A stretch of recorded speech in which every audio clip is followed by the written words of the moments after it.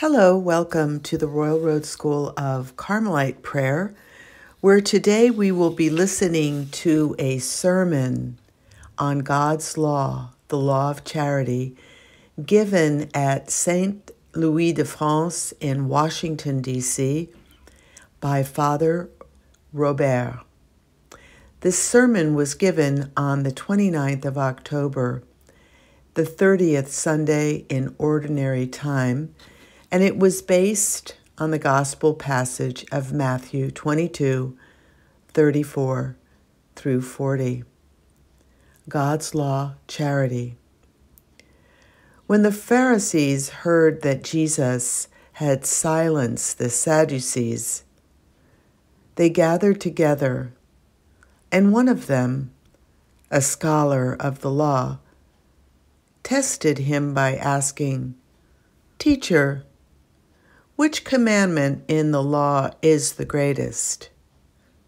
He said to him, You shall love the Lord your God with all your heart, and with all your soul, and with all your mind. This is the greatest and the first commandment. The second is like it You shall love your neighbor as yourself. The whole law and the prophets depend on these two commandments.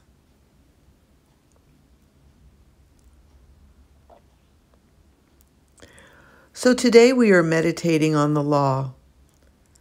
And after hearing today's gospel, we could wonder why the doctor of the law's question was a test for Jesus.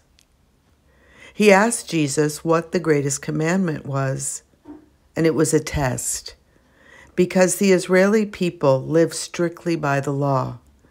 This law told them exactly what to do to resemble God. It was their master, what guided their lives. It was their way of seeking God. They initially had Ten Commandments, which were given to Moses.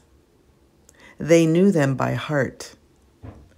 But to enable the people to live them in a more practical way, these commandments were dissected into smaller laws, and really what the people ended up with were 613 laws. These laws required a daily effort, starting with the Shema Israel. Listen, Israel, the Lord speaks.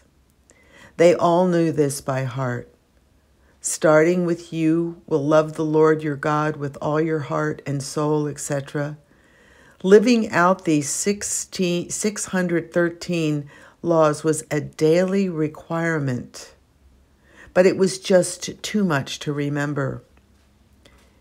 Yet you weren't allowed to forget.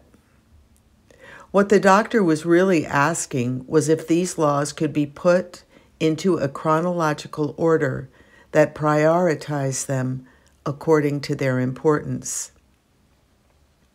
This was the test. The doctor already knew the answer. He knew that the answer was complicated and complex. Jesus answered by first reciting the Shema Israel. He then went on to say that the second commandment is similar to the first you will love your neighbor as yourself. And Jesus summarized then for them all their laws into just two laws.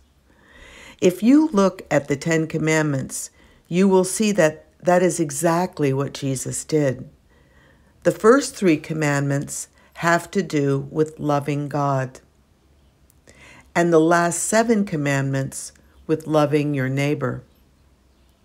Don't worry, I'm not going to embarrass anybody here by asking you to recite the commandments. But let me just say that you really should learn them. Jesus shows us that there is an intimate link between the love of God and the love of neighbor. He answers those who regularly go to church to pray a litany of rosaries and novenas and they leave them behind when they leave the church and close the church door. all their effort is really for naught, as it is not at all manifested in their daily lives. Their prayers are really worthless. God can't hear them. If in our daily lives we don't have the love of God in our hearts that guides our actions towards others, our life just simply doesn't make sense. We can be doing a million things for others without recognizing that God is the source. And so God can't see these efforts. But with charity, charity, or God's way of loving, everything changes. In Christ's response, he was saying that the only thing that counts is love or charity, the way God loves. When we love this way, our love flows from heaven and towards others. There are parents, for example, who give their children everything they want. And when these children leave home, they seem to stop calling their parents. Their parents are completely baffled as they feel that they gave their child everything that they knew how to give them. The only problem was that their love was conditional. God wants us to understand that He gives us His love. He gives us what we need and what belongs to another. In the story of Lazarus, the rich man did not go to hell because he was rich. He went to hell because he didn't give Lazarus, the beggar outside of his castle, the part of his riches that belonged to him, to the beggar. Very often we have a home, we have at home what really belongs to other people. If you just open your closet, for example, you will perhaps find clothing that you haven't worn in over a year that you keep there just in case one day. But that really belongs to someone else. Everything that you're keeping in your closet and not wearing, that is charity. A person who is open and ready to assume another. Maybe some of you have been to the Holy Land and seen the Jordan River, which flows towards the south. This river flowing towards the south has two arms one that flows towards the Sea of Galilee. You have certainly heard stories of Jesus walking around this region.